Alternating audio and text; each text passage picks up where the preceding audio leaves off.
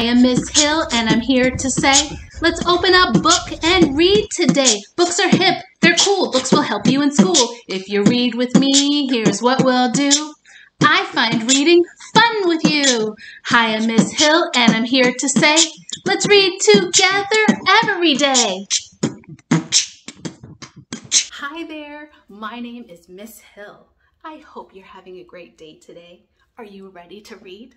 Let's go. The Flying Chip by Pooja Srinivas in Nitai Pandya. Springdale is a quaint suburban town not too far from the bustling city.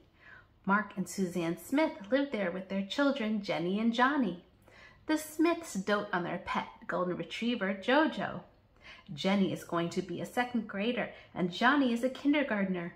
They love to read, play on their tablets, and really enjoy adventure. Finish that bowl of soup, Johnny, says Mommy, rolling her eyes. Can I have another slice of bread, Mommy? asks Jenny. Someone's hungry today, says Mommy as she passes the bread to Jenny. You had your fill, Jojo, said Daddy, as he signals to Jojo to stop begging for more table scraps. Jenny and Johnny have many friends in the neighborhood, but their best friends are Sarah, Cody, and Jay. Ever since the summer break began, the children have spent a large part of their days playing and running around together. On the last summer evening before going back to school, the children gather to play in Jay's driveway. Let's play basketball, Sarah screams. Jenny, Johnny, and Jay join the game. Watch how I dribble the ball, Cody squeals in excitement. The ball slips from Cody's hands and rolls into Jay's garage, which is also where his dad, Mr. Kumar, fixes computers. Hey kids, Mr. Kumar says. Hello, Mr. Kumar, the children greet. How are you doing, Sarah asks. Well, I'm fixing this computer. Have you ever wondered about gadgets like these, Mr. Kumar points to the stuff on his work desk. Would you like to know what's inside your mommy and daddy's computer that makes it so smart? Yeah! The children scream in excitement as they gather around Jay's father.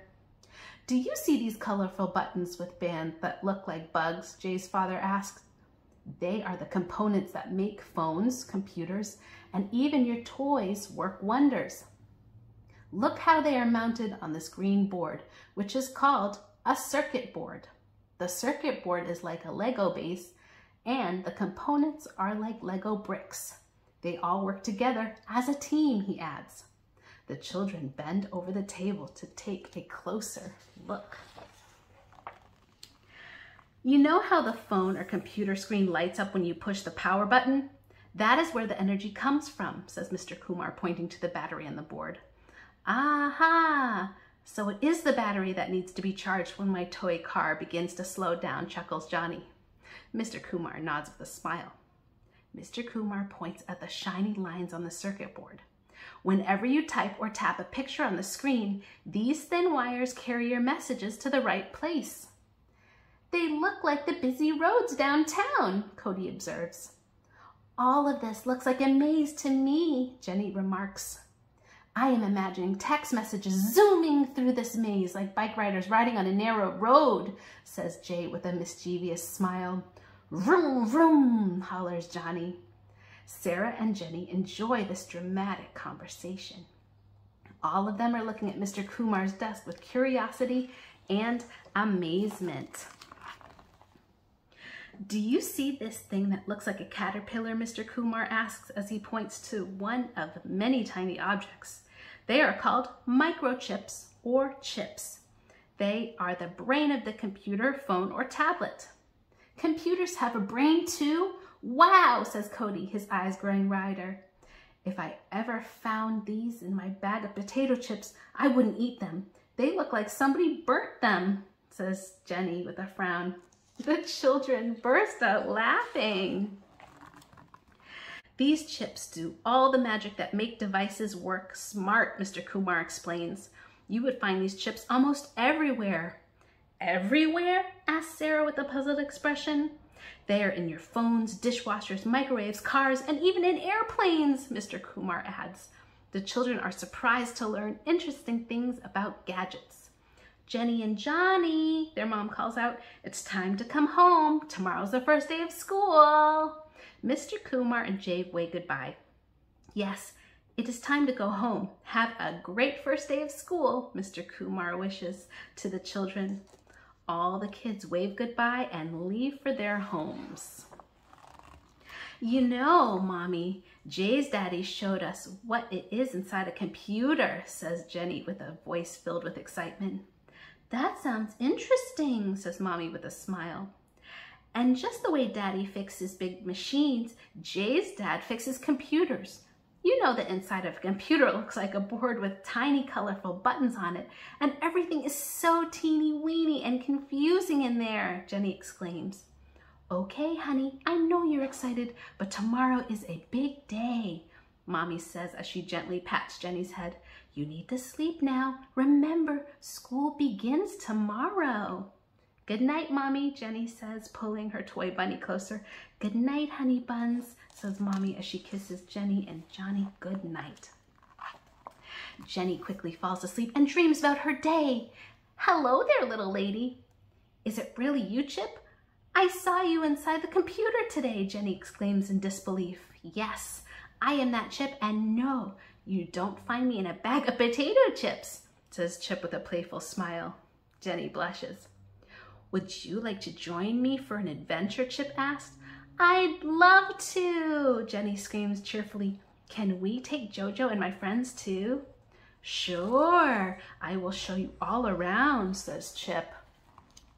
As their trip begins, Chip flies with Jojo and the children on its back. This is so cool, screeches Cody. This is fun, Sarah adds with a glint in her eyes.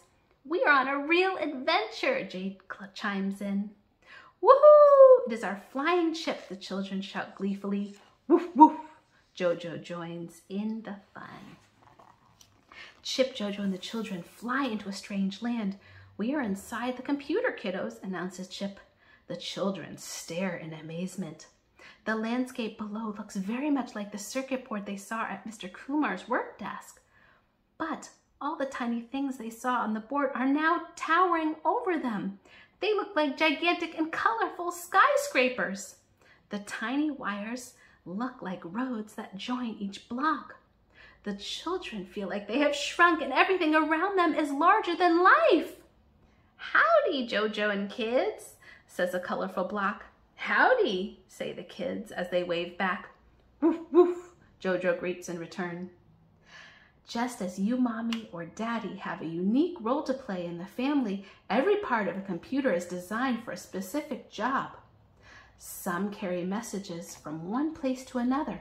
Some do the calculations. Some keep the computer cool, while some give the energy it needs to work, Chip explains. Now, let's get back to the real world and I can show you how chips like me are here, there, and everywhere, Chip suggests as it prepares to fly out of the computer. Jojo wags his tail. The children nod as they look forward to going back into a familiar world.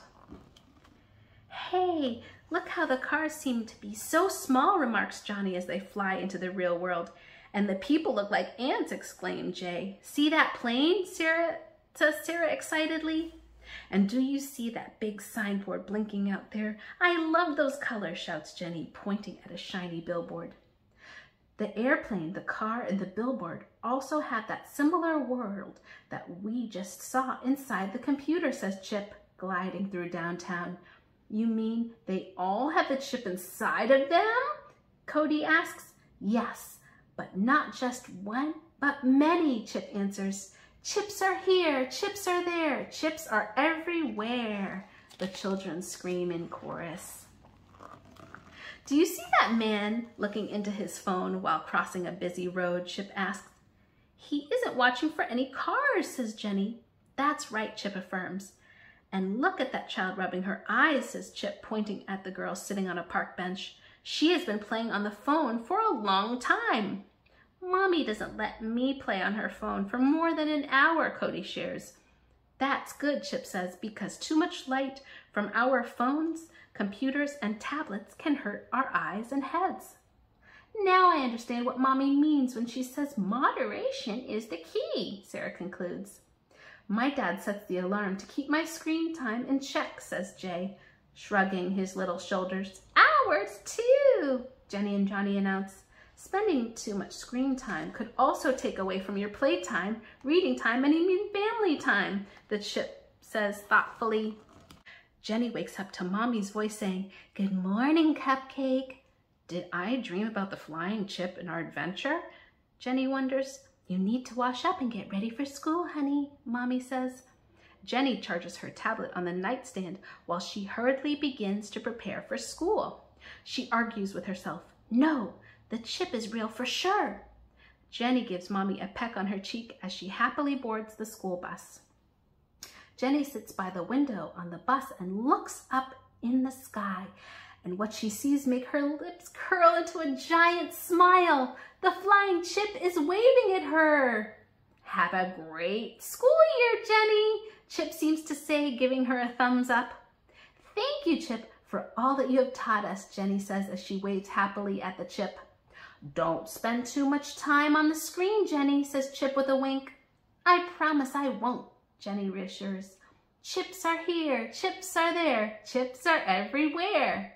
Chip happily sings as it flies up high in the air. The end. It's random acts of kindness time. It's random acts of kindness time. For today's random act of kindness, allow someone to go in front of you in line. This will surprise them and make them feel really great. Try it. People come in different sizes, different colors, shapes, and names. Although we're different on the outside, inside we are just the same. Press the subscribe button to tune in for the next story time with Miss Hill. Thanks for joining me for today's read aloud. Remember, what makes us all different makes us special. You are so special and so loved. Thanks for joining in and I'll see you next time.